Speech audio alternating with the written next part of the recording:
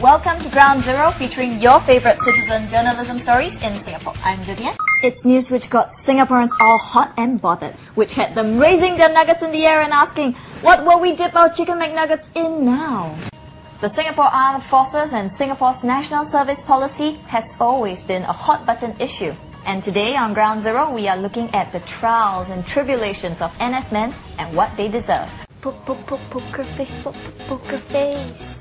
Uh, what are you doing, Vivienne? I like to sing. Welcome back to Ground. Vivienne, what are you doing?